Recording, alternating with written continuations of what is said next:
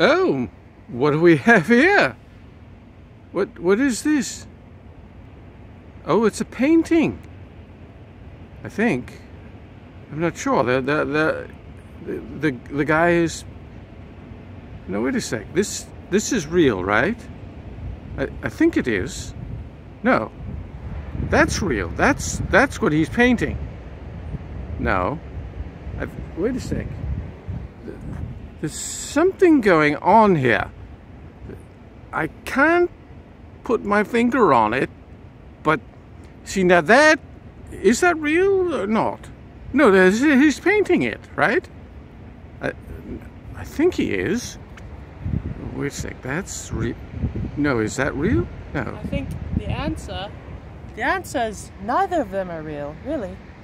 They're hmm. both just the dreams of this reality. Oh my god! Is that true? Well, that's what uh, Yogananda said on my audio tape in my car. He said, Am I here meditating in Calcutta or am I envisioning myself dead on the battlefield? And he said that God told him, Neither. You were just. They're both dreams. One is you're meditating in Calcutta, another one you're dreaming you're dead on the battlefield. And the true place we reside is the light that creates everything.